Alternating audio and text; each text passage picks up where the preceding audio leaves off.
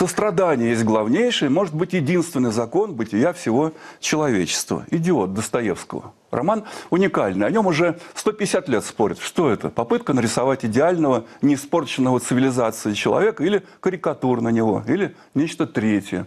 Режиссер Константин Богомолов представляет в Линкоме свой опыт прочтения истории князя Мышкина.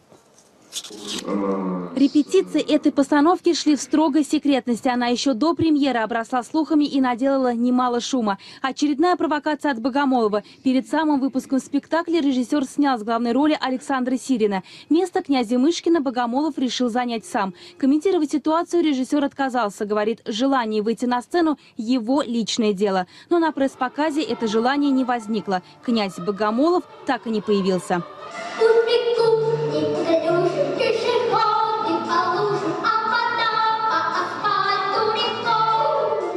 Привычного князя Мышкина тоже ждать не стоит. Вместо него в спектакле будет Тьмышкин. Соединение двух персонажей Достоевского – Мышкина и Ставрогина. Должен получиться этакий князь тьмы – Тьмышкин. Богомолов замешал свой фирменный коктейль. Понемногу из «Идиота» и «Бесов», щепотка братьев Карамазовых и капля смерти в Венеции Томаса Мана. То, что нельзя сказать вслух, выводят на экране титрами. Спектакль 18+.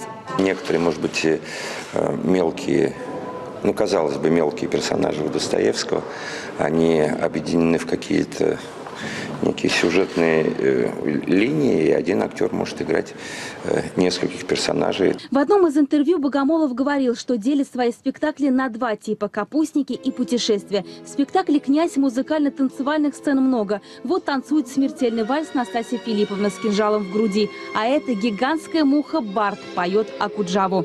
Девочка плачет, шарик улетел, ее утешают, а муха летит. Но все эти номера созданы не для того, чтобы подчеркнуть тему идеального человека в страшном мире. Это Богомолову вовсе не интересно. Главная сюжетная линия спектакля – загубленное детство. Этот спектакль э, не о классических персонажах романа Достоевского в том виде, в котором мы привыкли их видеть, а о, как мне кажется, той теме, которая для Достоевского является очень больной и которая, конечно же, тема предельно откровенная. Это, по сути дела, некое насилие над детством, это убийство и смерть детей, это э, насилие взрослых над детьми. Сознанием публики Константин Богомолов всегда манипулирует смело и настойчиво. На этот раз более трех часов. Его спектакли никогда не обходятся без эпатажа. Скандал как творческий метод. Алия Шарифовна, Александр Шаповал, Новости культуры.